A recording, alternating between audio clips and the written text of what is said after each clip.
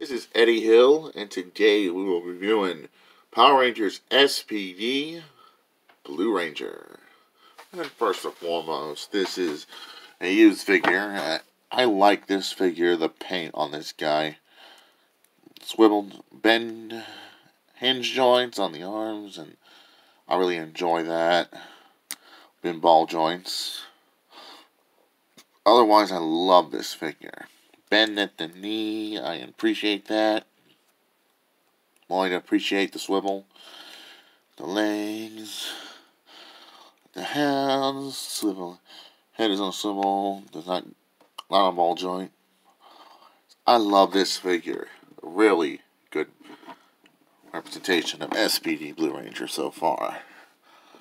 One of my favorites of the original SPD figure line. And I don't have the original weapon for him. What I'm talking about, I don't have the original weapon that came with this guy.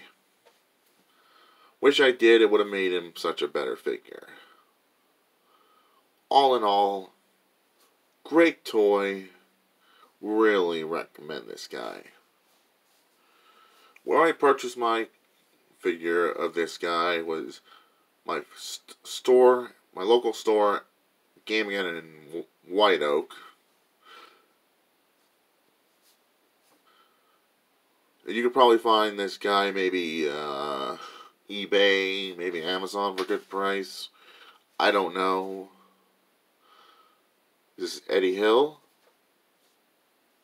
Moving on.